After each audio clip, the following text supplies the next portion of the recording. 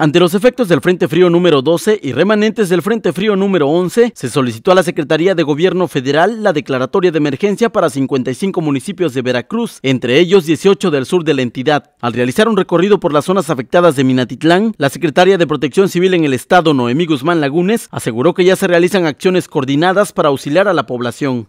18 municipios directamente atendidos, con 20 refugios, con una población de 760 albergados. Traemos el puenteo aéreo que ayer dimos a 14 comunidades apoyos de Minatitlán, de las Chuapas, de Luz Panapa.